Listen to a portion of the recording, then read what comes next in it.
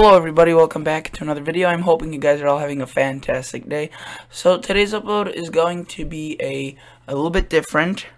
Um, it's gonna be about the uh, the tropical update, the tropical storm that may be occurring, uh, even a hurricane across the Gulf Coast states. Louisiana seems to be the most likely to be hit by this, as you can see by the track. There are already tropical storm watches, I think, um, no, hurricane. Okay, hurricane watches, storm surge watches, uh, and if we go to the National Weather Service map, you can see that it's uh, it's intensifying pretty quickly. So we have to keep an eye on that. And if it does become, it's gonna be named Barry. Right now, it's still just called okay, not National Hurricane Center. I want National Weather Service. And uh, consider subscribing while you're at it, guys, if you want to uh, support this channel. Consider doing so. It really helps this channel uh, maintain itself on YouTube, and it, it really just uh, is, is, you know, important. But if you could see right here, we have hurricane watches and storm surge watches and tropical storm warnings and flood warning. I mean, everything's here. Uh, New Orleans, New Orleans, New Orleans, sorry, New Orleans, and New Orleans uh, got quite a bit of rain um today. And it, it, was it was like seven inches in some places so they don't need any more but unfortunately you're getting more. So if we go uh over there and check out what's going on uh, I apologize this is taking quite a big time to load. Uh you can see that uh, there's already a flash flood warning or a flood warning and flash flood watch a little bit um, to the north. So uh, this is not loading, but you can see this is the radar. It's already this tropical storm. That's not associated with it, but this is these tiny storms, and it's already hitting the New Orleans area pretty hard. If we go to, oh, that's just a video I had pulled up. Uh, I watch Emma Gardner, and if you, uh, if you, if we go to the National Hurricane Center, and check on what they're uh, what they're sh showing, you could see that um, it's it's quite a bit of quite a bit of uh, variance in the track. I mean, you can see it's right here right now. It's gonna be depression, then become a storm, and then from storm it's gonna become a hurricane, and then it's gonna make landfall somewhere uh, between this these blue lines. You could see uh, this is not uh, a path of destruction or like where the impact will be. This is where it could track. It could go all the way by Houston um, and be right there, or it could go right over here. But most, you know, most likely as of now, it's somewhere in the middle here. But it could definitely um, trend towards either the right or the left more than it has. And you can see potential track area. That's not the um, the, the the impact area, which many people do think. And you could see that uh, right now I was about to show you guys something. Okay, so the hurricane is technically when it's uh, 74 mile per hour, 75 or greater um, 74 through 100 and you could see that according to this it's supposed to become a hurricane. Unfortunately it's not going to be any stronger I think than hurricane uh, category 1 you could see uh, maximum winds 85 mile per hour 85 miles per hour. Um, you know uh, and they, they don't uh, they don't measure the wind gusts. They only it's only sustained winds. So you can see 85 but then I mean, it could quickly get up to Category 3 if it really had the right environment. To low shear, which is forecasted to be low shear. Um, warm temperatures, which it's all in place, but we just don't know if it's gonna, you know, occur all that fast. You could see uh, the the rainfall amounts are just ridiculous. I mean, uh, some of these pink areas, the, that pink area, that's over 15 inches. Um, these this red and uh, orange is over six to 10 inches. I mean, amazing amounts of rain, which isn't you know amazing or not. It's they're they're I meant to say they're they're high, they're great, and you can see that this uh, does track further up to the north and could possibly impact maybe uh, more of an area than just the south. But uh, we've been pretty dry here, so if we get some precip from this in the Chicagoland area, we would be happy. Um, I'm telling you because it's been dry here.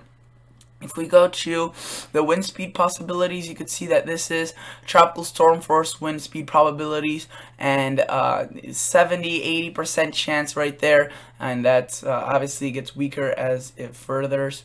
But again, it's most likely looking that this could be a hurricane. And, uh, you know, that's just what it's going to be. In terms of the arrival of the winds, tropical storm force winds, which is, you know, the very powerful winds you could see uh, Friday 8 a.m. It's, it's very vague, but uh, because it could, you know, they're still showing that these winds could, you know, or anywhere from here to here, they could be uh, impacting, and you can see the areas within the almost black black contour have at least 5% chance of seeing winds of 34 or 39 miles per hour or greater. So you can see that this this would be um, this would be a fairly wide swath. And if we were to look at um, the models right now, let's see what's going on. I could show you the GFS. Uh, in terms of the the strength, the GFS is not the model that's showing the most. I think the European earlier on was showing way stronger hurricane, um, or it may, it may still be showing a way stronger hurricane slash tropical storm, and I'll check that in just a minute. But you can see uh, it has it at around 9.5, 9.3, 9.93 millibars, which honestly is not too strong, guys. It's uh, it's barely. That's sometimes we get a storm across during the winter. That's you know could be way deeper than that in 970 range. But uh, that's you know that's not even a category one really right there or hurricane. But it could be because the GFS is just one model. And if we go to the hurricane models at HRWF, HWRF, um, and let's go to two. That's what it's now. That's what it's now coined. You can see. Let's go back. It has it in much stronger. So this is. Let's go back to hour three. This is what is right now. Starts organizing. These thunderstorms start popping, and uh, we. This is where Louisiana is. Hopefully you can see that outline. Um, the Outer Banks, not the Outer Banks, but like the little tiny islands, and you can see that uh, it gets down to 9, uh, 9, uh, 59, 960, and you can see that it, it continues to strengthen into a category 2, at least it seems now, of uh, based on this model.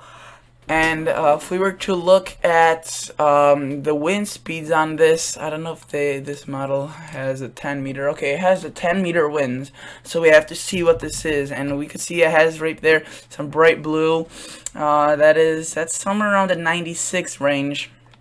It's almost a Category 2 hurricane, if not a Category 2 hurricane, uh, this model is showing.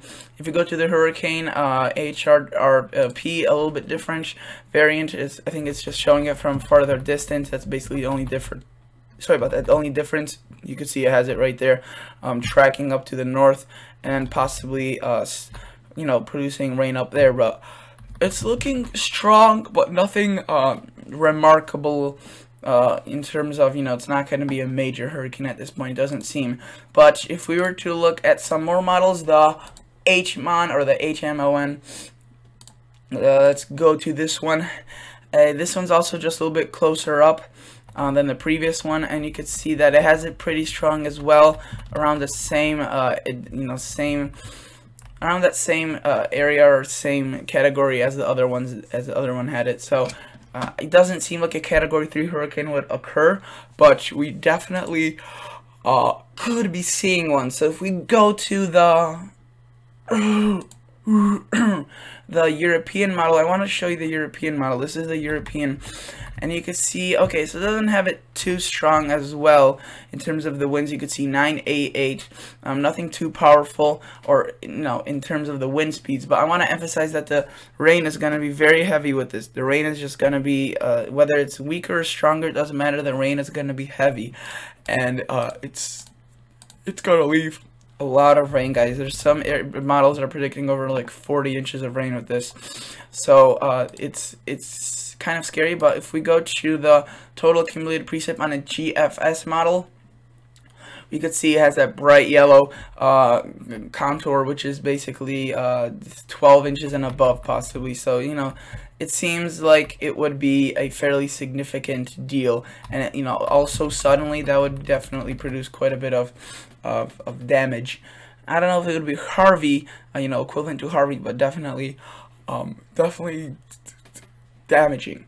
So uh, if um, that's basically, I just wanted to give you this quick update on this. I don't really go in depth. Um, I could go in depth, but I, hurricane coverage is not my specialty. I don't really do it that you know that often. Um, only when there's one imminent. But uh, otherwise than that, um, I mean, you, go to the National Hurricane Center. Don't base your forecast off of my video, and go and go through all of this and take their advice. So thank you guys so much for watching. Consider liking the video. Consider subscribing to this channel, and I will catch you all guys on the next episode or video. See ya. Bye.